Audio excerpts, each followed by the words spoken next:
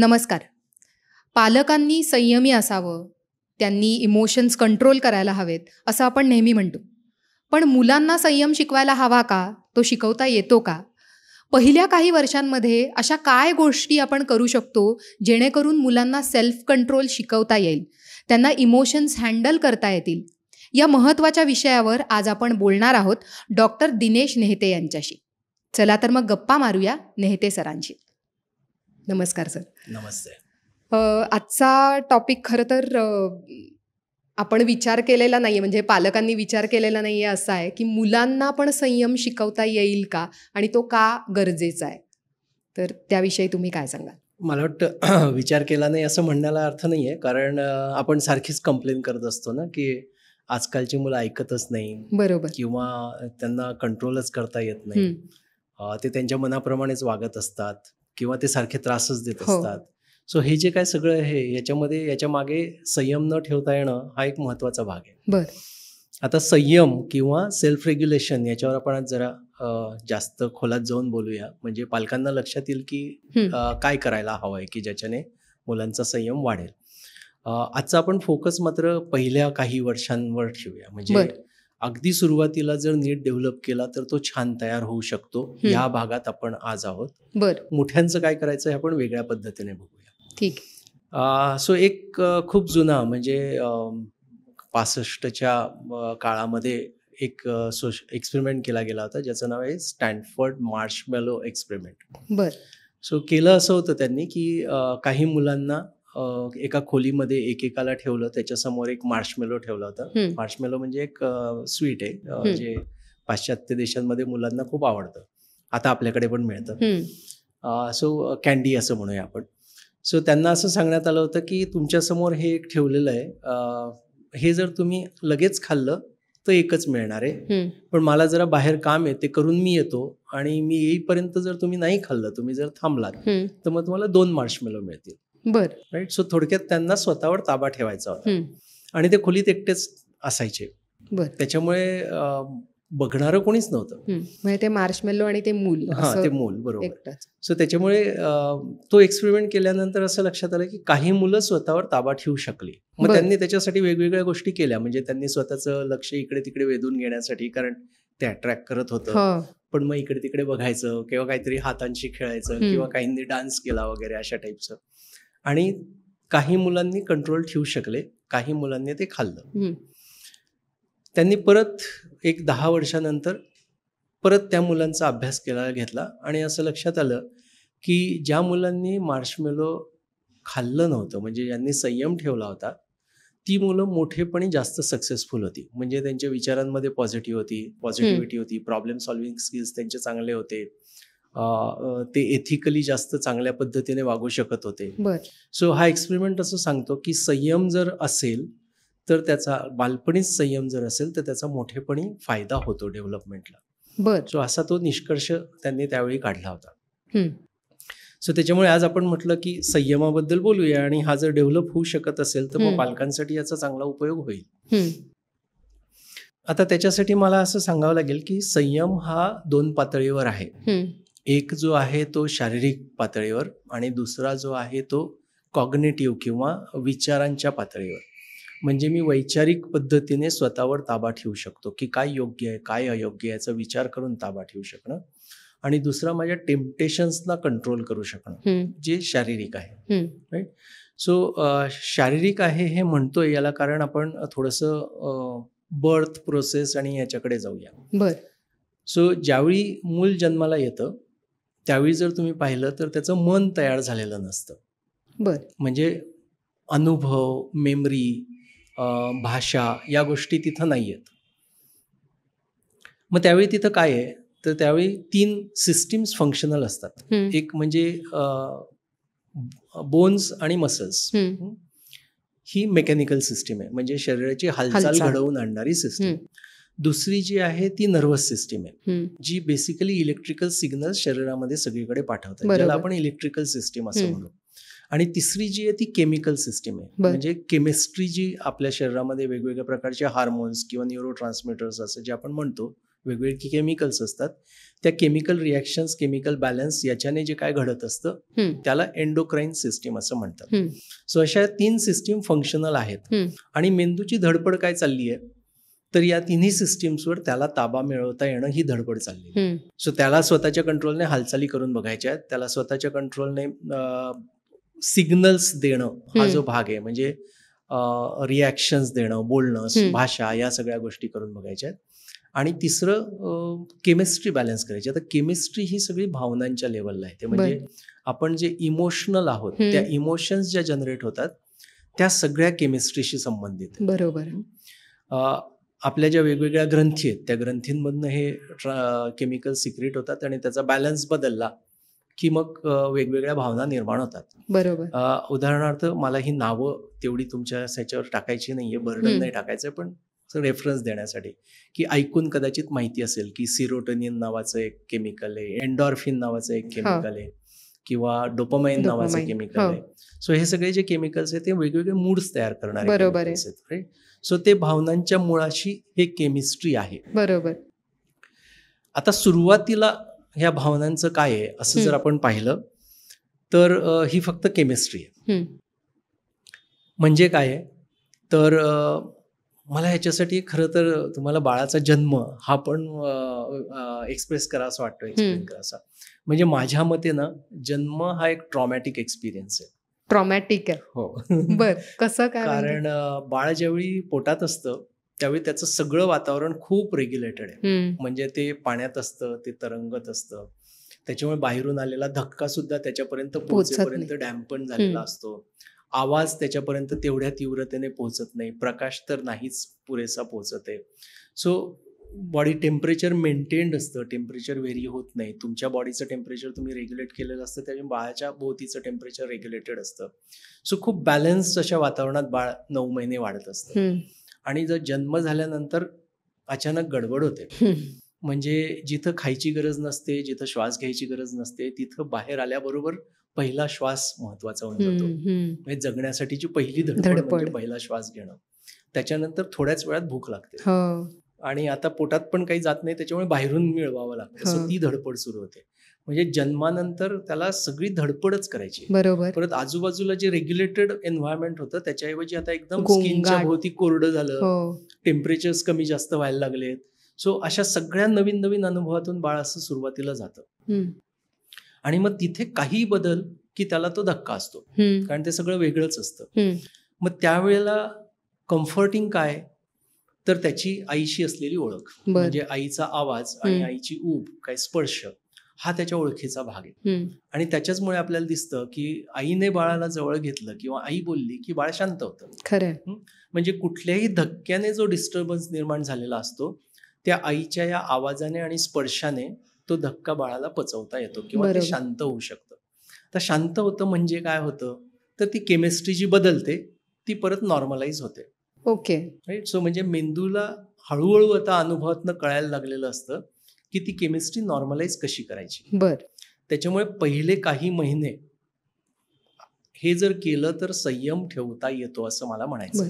पण हे म्हणजे काय करायला हे म्हणजे की आईने बाळाला भूक लागली की लवकरात लवकर त्याला पाजलं पाहिजे.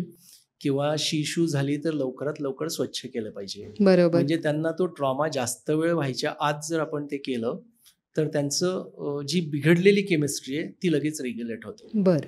आणि त्याच्यामुळे ह्या परत परत आलेल्या अनुभवांमुळे मेंदूला कळायला लागतं की केमिस्ट्री रेग्युलेट कशी करायची. बर.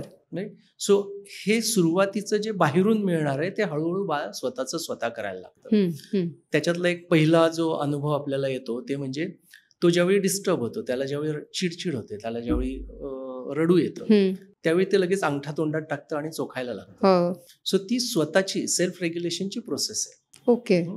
किंवा एखादं पांघरुण जवळ घेऊन ते बसतं. हो. सो ही सेल्फ रेग्युलेशनची प्रोसेस आहे. म्हणजे त्याच्या आधाराने त्याचा मेंदू आता समजतो की केमिस्ट्री बॅलन्स कशी. बरोबर. की परत नॉर्मलला यायचंय. परत नॉर्मलला यायचंय. म्हणजे. मन परत शांत करायचं. हम्म, सो अशी ही प्रोसेस घडत असते आणि ती घडण्यासाठी आपल्याला बाळांना ते सुरुवातीचे अनुभव हे बाहेरून मदत करून करायचे आहेत. बरोबर. आणि जितकं आपण हे रेग्युलरली करू तितकं त्याचं बॉडीली सेल्फ रेग्युलेशन जे मी म्हणतोय ते त्याला करता यायला लागतं. आणि तो भावना रेग्युलेट करण्याचा पाया आहे असं मी म्हणेन. कारण पुढे जाऊन सुद्धा ज्यावेळी भावना अस्वस्थ होतात त्यावेळी नक्की काय होत असतं तर केमिस्ट्री बिघडलेली असते. खरंय आणि तुम्हाला ती मेंदूला जर ती शांत करता येत असेल तर तुम्हाला ती लोक अशी दिसतात की जी चिडतात आणि पटकन शांत होतात. सो ते पटकन शांत होणं का जमतं? कारण माझ्या मेंदूला ती सवय आहे. मला ते. माहिती आहे कसं करायचं. सो हा तो सुरुवातीच्या काळातला भाग आहे जो आपण करणं महत्वाचं आहे. आता याच्या पुढची गोष्ट म्हणजे. ज्याला आपण संयम म्हणतो? आता ही पहिली रेग्युलेशनची गोष्ट आपण पाहिली. पण. संयम म्हणजे काय? की आपल्या मनाविरुद्ध गोष्टी होत असताना सुद्धा शांत राहता येणं. हम्म, हम्म, मग तो हळूहळू वाढवणं महत्वाचं आहे. बरोबर. आणि म्हणून मग बाळांसाठी तुम्ही जर हे केलं की सुरुवातीला तुम्ही गरज पडली की देताय. पण मग हळूहळू एक दोन तीन आठवड्यानंतर किंवा महिन्यानंतर असं म्हणेन बाळाला थोडं थांबायला शिकवणं. म्हणजे समजा भूक लागली रडायला सुरुवात केली तर आईने त्याच्याशी बोलायचं त्याला जवळ घ्यायचं तोपर्यंत बाटली भरायची त्याचं दूध गार होऊ द्यायचं आहे पण ते लगेच द्यायचं नाहीये? म्हणजे तयार नाही ठेवायचं आता नंतर. लगेचच दिलं इमिडिएट असं नाही करायचं. आता हळूहळू त्याच्यातला वेळ वाढवायचा बर. आणि त्याला थांबायला शिकवायचंय. बर. मग जसं बोलता यायला लागतं तसं ते बाळ सांगतं. आणि मग ते थांबतं वाट बघतं. सो ती वाट बघण्याची सवय ही आपल्याला लहानपणून वेगपणापासून वेगवेगळ्या गोष्टींशी लावायची. बर. ती जशी तुम्ही वाढवत जाल त्याच्या कपॅसिटीप्रमाणे वाढवत जाल तसं त्याचं सेल्फ रेग्युलेशन इम्प्रूव्ह होत जातं. बर. आणि मग त्याला पुढे जाऊन मनाविरुद्ध थांबता येण्याची ताकद निर्माण होते. म्हणजे मनाविरुद्ध गोष्टी घडतात तरी सुद्धा धीर धरता येणं असं जे आपण म्हणतोय हम्म, ते डेव्हलप व्हायला सुरुवात होते. बर. सो हे आपण संयम म्हणून असं म्हणतो बरोबर. इथे सर जेव्हा आपण लहान लहान आहे म्हणून देऊन टाक लगेच किंवा असं जे करतो तसं न करता हे थोडासा तुम्ही म्हणताय तसा ती वेळ वाढवणं गरजेचं आहे. बरोबर. सो आपण पटकन ज्यावेळी बोलतोय ते तीन चार वर्षाच्या पुढच्या मुलांबद्दल बोलतोय. हम्म, पण माझं म्हणणं आहे की त्याच्याही आधीच, म्हणजे हो. पहिल्या एक दीड वर्षापर्यंत सुद्धा हे काम. करून घ्यायला हवंय. बरोबर. म्हणजे सुरुवातीला खूप प्रेमाने आणि प्रत्येक वेळी पाहिजे तसं. मग नंतर थोडंसं डिले करून बरोबर. आणि नंतर त्याला एक प्रोसेस सारखी सेट करून म्हणजे कशानंतर काय होणार आहे? म्हणजे सकाळी उठल्यानंतर मॉलिश होणार आहे मॉलिश नंतर आंघोळ होणार आहे आंघोळीनंतर काय झोपायचं आहे अशी एक जर त्याला सवय लावलेली असेल की ज्याला प्रिडिक्टेबिलिटी आहे थोडीशी आणि तो. त्याच्यातनं जातोय. सो त्याला अंदाजही असतो काय आहे आणि तो ते करूही शकत असतो. बरोबर. सो अशा ह्याच्यातनं जर पहिल्या दोन तीन वर्षात तुम्ही मुलांना नेलेलं असेल तर पुढे हे अजून सोपं होतं. म्हणजे मग सांगितल्यानंतर ते ऐकू शकतात. ते बरोबर शांत राहू शकतात? आणि मग तो पुढचा भाग तू म्हटला तसा येतो की साधारणपणे समजायला लागल्यानंतर. टॉडलर्स दोन वर्षानंतरची मुलं जिथं आपण मागितलं की पटकन देतोय आजकाल किंवा. मला नाही मिळालं म्हणून माझ्या मुलाला द्यायला हो. हवंय. सो इथं सुद्धा आपण ते करायला नकोय कारण. अजून संयम पूर्ण डेव्हलप होण्यासाठी त्यांना त्यातनं जायला हवंय. बरोबर आहे. म्हणून तिथं सुद्धा तुम्ही थोडंसं डिलेड देणं हे महत्वाचं आहे. त्याची जी सहनशक्ती आहे त्याच्या आत ठेवायचं. पण लगेच नाही द्यायचं. म्हणजे ब्रेकडाऊन पर्यंत जायचं नाहीये पण लगेच पण द्यायचं नाहीये. असं जेव्हा तुम्ही त्यांना सवय होऊ द्याल त्यावेळी त्यांना स्वतःवरचा ताबा ठेवणं सोपं जाणार बर. आणि हे करून घेणं महत्वाचं आहे कारण नाहीतर मग आपण सुरुवातीला काही करत नाहीये त्याच्या मेंदूला त्याचं अंडरस्टँडिंग आलेलं नाहीये आणि मग नंतर ते मोठे झाल्यानंतर आपण अपेक्षा करायला लागतो की? एवढा मोठा झालाय समजायला पाहिजे ना ऐकायला पाहिजे. ना पण ते त्यांच्या हातात नाहीये. कारण तोपर्यंत मग ती डेव्हलपमेंट व्यवस्थित नाही झाली बरोबर. सर अजून एक प्रश्न मला विचारायचा आहे. तो म्हणजे प्रत्येक मूल वेगळं आहे. त्यामुळे आपल्याला आपल्या मुलाची कपॅसिटी लक्षात ठेवून तिथपर्यंतच हे ताणायचं आहे ना? म्हणजे आपल्याला माहिती आहे की एवढंच खेचायचं आहे याच्यानंतर ब्रेकडाऊनचा पॉईंट तुम्ही म्हणताय तसा येणार आहे. तर तिथपर्यंतच थांबणं अपेक्षित आहे बरोबर ना? अगदीच. म्हणजे आपण असं म्हणू की आपल्या मुलाचा आपल्याला अंदाज असतो हो. की एका ठराविक ह्याच्यानंतर तो कंट्रोलच्या बाहेर जाणार असतो. म्हणजे तो वेडावाकडा वागायला लागणार असतो. सो तिथपर्यंत जाऊच नाही जायचं. द्यायचं त्याच्या आधीच हे थांबलं पाहिजे. पण अगदी लगेच पण व्हायला नको म्हणजे त्या भीतीतून की अरे हा आता चिडतोच किंवा हा असाच वागतो त्या भीतीतून लगेच पण द्यायला नको. बरोबर. सो आपल्याला सुद्धा तो बॅलन्स साधायचा आहे की केव्हा आणि ते प्रत्येक पालकाला आपल्या मुलाबद्दल माहिती असणार आहे. किंवा ते त्याने लक्ष ठेवून माहिती करून घ्यायचं आहे. खरंय अ, सर हे जे आत्ता आपण बोललो ते साधारणतः तीन वर्षाच्या मुलांपर्यंतचं बोललो. पण आता बऱ्याच जणांना असं वाटत असेल की आमची मुलं तर मोठी झाली आहेत तर आम्ही काय करायचं? तर आता तीन वर्षाच्या पुढे ज्यांची मुलं आहेत त्या पालकांनी काय करायला हवं? त्यांना काही टिप्स आहेत का? सो आता सगळ्यात महत्वाचं म्हणजे आपला पेशन्स जास्त लागणार आहे. हो. म्हणजे आधीच्या याला एवढा पेशन्स लागत नाही कारण मूल अजून तयारच व्हायचंय त्याच्यामुळे ते लवकर अडॅप्ट होतं. पण आता त्याला काही सवयी लागलेल्या आहेत. त्याच्यामुळे तो तेवढं अपेक्षा करतो. किंवा त्याला माहिती असतं की तुम्ही ब्रेकडाऊन होता. त्याच्यामुळे तो प्रेशराईज करत राहतो. म्हणजे. त्याची इंटेन्सिटी वाढत राहते. सो त्याच्यामुळे आपल्याला स्वतःवरचा ताबा आता खूप जास्त हवाय. म्हणजे आपल्याला शांत राहता यायला हवंय. आपल्याला त्याच्या ब्रेकडाऊनच्या आधीपर्यंत ते ताणता यायला हवंय. आणि काही वेळेला कठोरपणे नाही म्हणता यायला हवंय. बरोबर. म्हणजे रागराग नाही चिडचिड नाही पण स्वच्छपणे नाही म्हणता यायला हवंय. की ज्याच्यानंतर. थोडा वेळ थोडा वेळ ते मूल रडारड करेल आणि हळूहळू शांत होईल.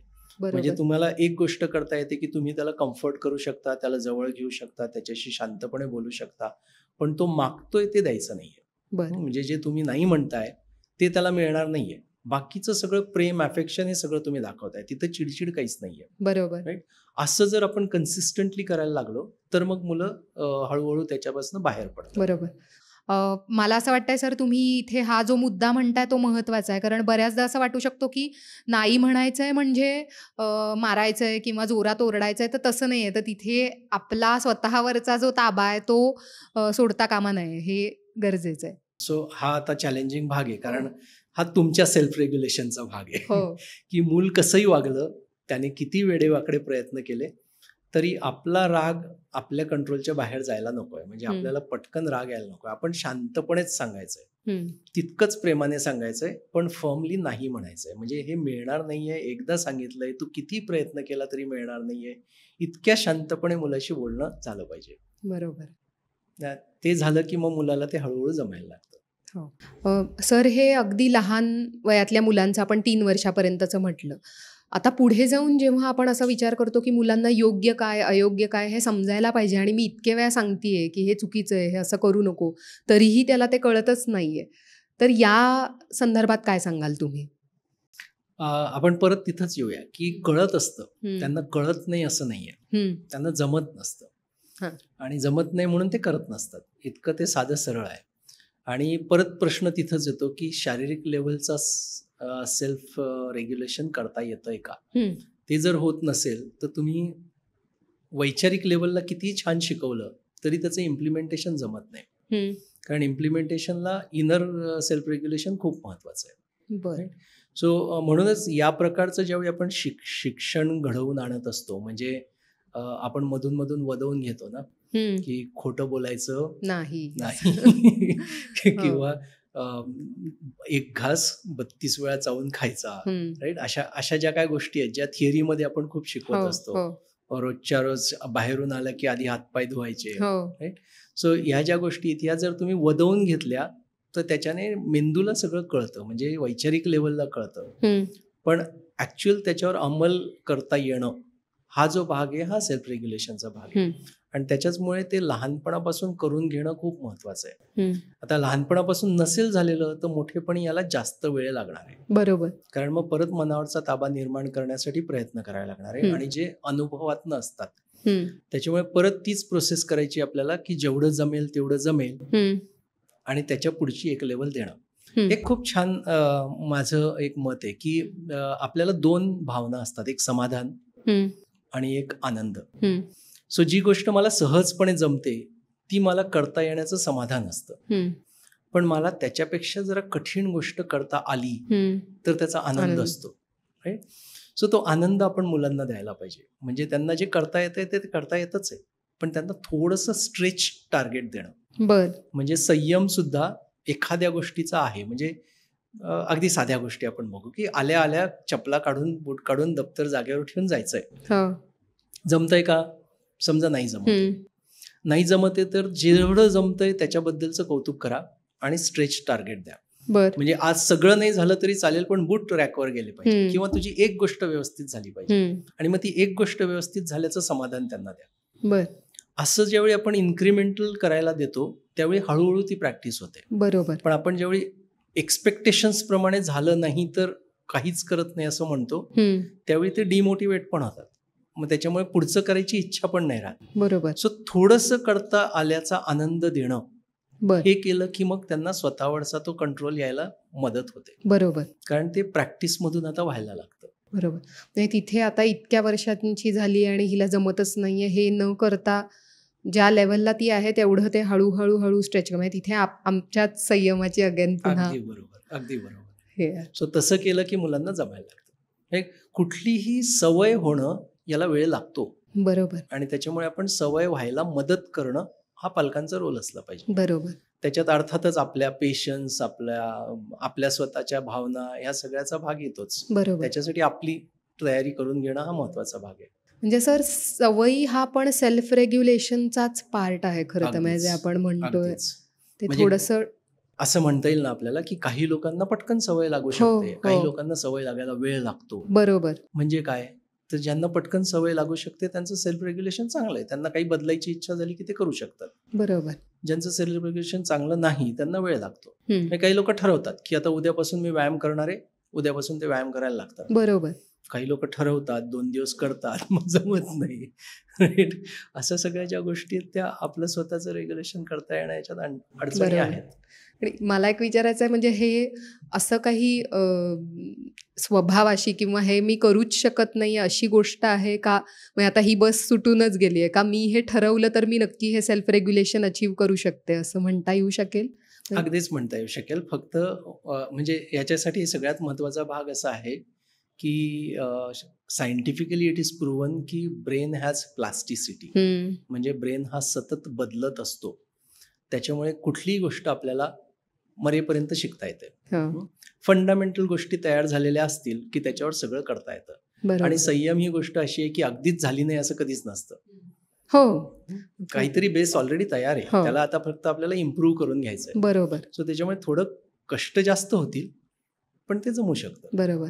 इथे तुम्ही जे काही आपण बोललो त्यावरून हेच आहे की प्रत्येक मूल हे आपल्या म्हणजे त्याच्या आईवडिलांना नक्की माहिती आहे. त्याला लक्षात घेऊन ते कस्टमाइजच करावं लागणार आहे हे. अगदी. सो सगळ्यांसाठी एक सोल्युशन हा विचार पेरेंटिंगमध्ये करूच नाही.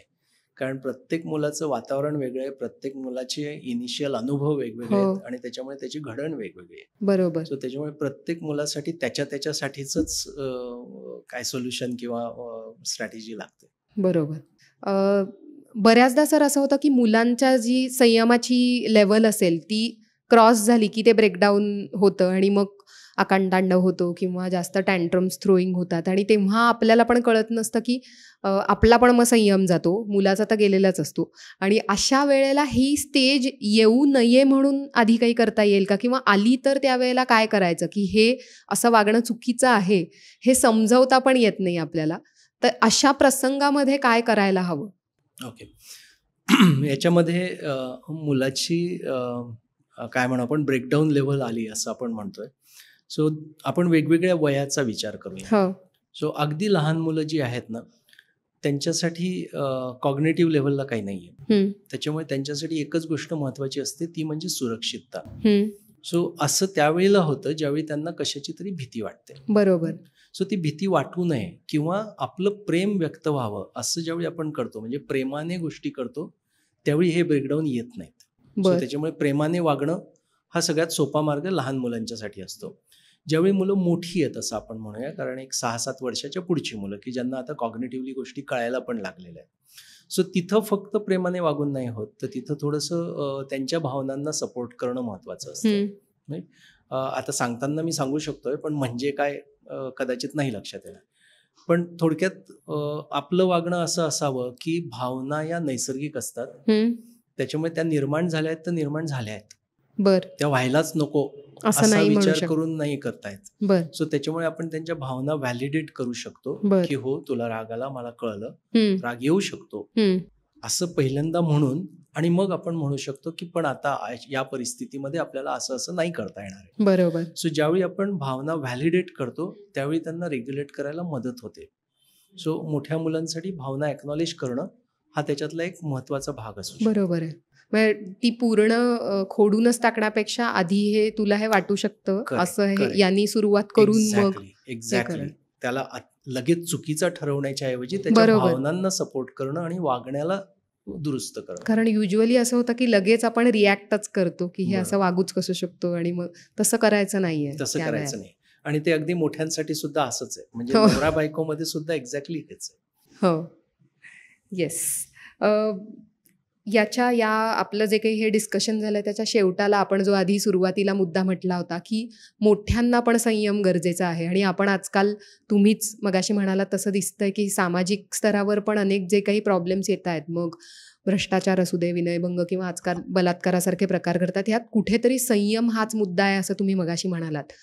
तर या विषयावर तुम्ही काय सांगाल आम्हाला? बरोबर. सो हे सगळे म्हणजे एथिकल प्रॅक्टिसेस असं आपण ज्यावेळी म्हणतो की ज्या योग्य प्रकारे वागण्यासाठी आपण तयार असलो पाहिजे. ते का नाही वागतायत? तर आपल्या मनावरचा आपला ताबा सुटतो त्यावेळी वागताना. म्हणजे कुठेतरी आपल्याला राग येतो कुठेतरी अन्याय झाल्यासारखं वाटतं आणि कुठेतरी आपल्याला टेम्पटेशन होतं की मग. ते कुठल्याही मार्गाने का असेना मला मिळवायचं बरोबर. सो इथं सेल्फ रेग्युलेशन जाणं हाच. त्याच्यातला भाग आहे. बरोबर. पण ते जर आपल्याला पूर्णपणे येत असेल तर आपण अगदी व्यवस्थित सगळ्या गोष्टी व्यवस्थितपणे करू शकतो.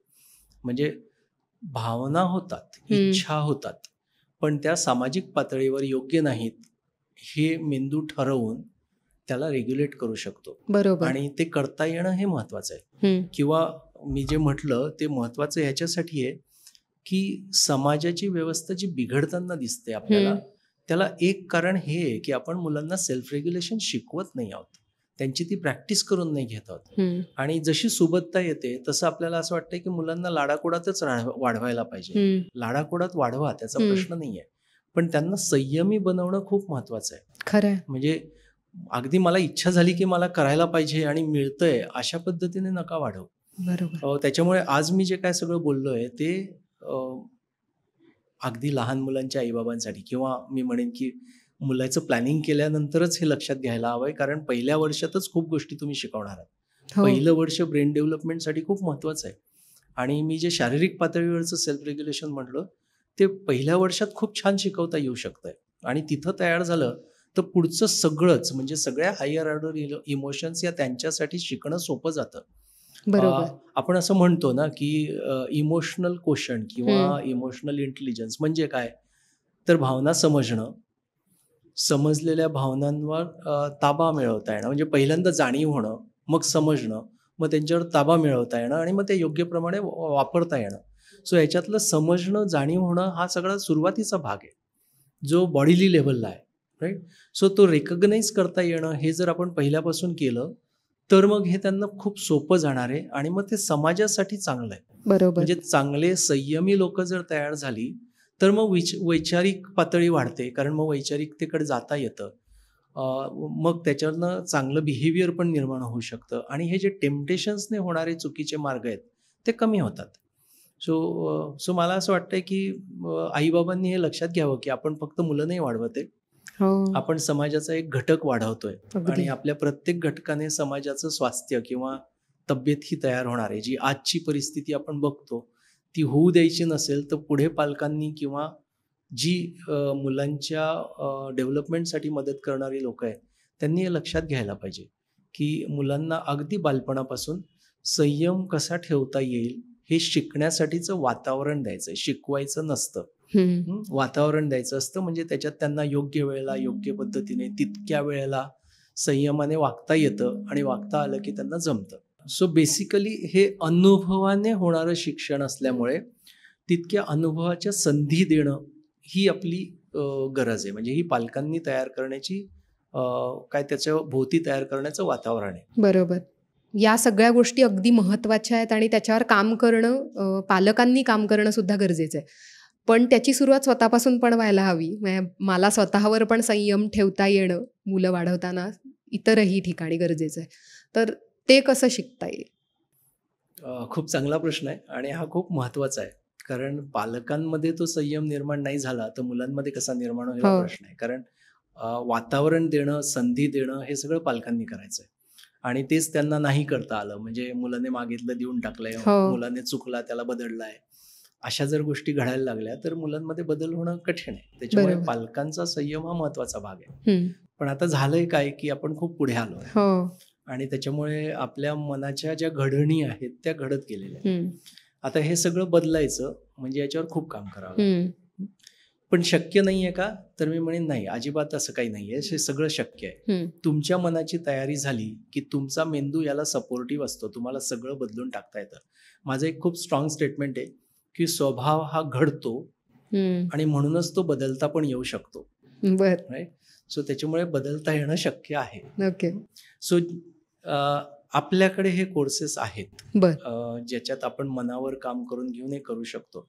पण माझं म्हणणं आहे की तसंच गरज नाही आहे जिथं असे कोर्सेस असतील जे अनुभवाधारित असतील जे प्रॅक्टिसमधून करून घेण्याचे असतील पालकांनी तिथं तिथं ते कोर्सेस करावे असं माझं प्रांजळ मत की. पालकांनी स्वतःला बदलण्यासाठी स्वतःचा संयम वाढवण्यासाठी स्वतःला बॅलन्स विचार करता येण्यासाठी स्वतःसाठी खूप काम करून घेणं पाल चांगल्या पालकत्वासाठी महत्त्वाचं आहे.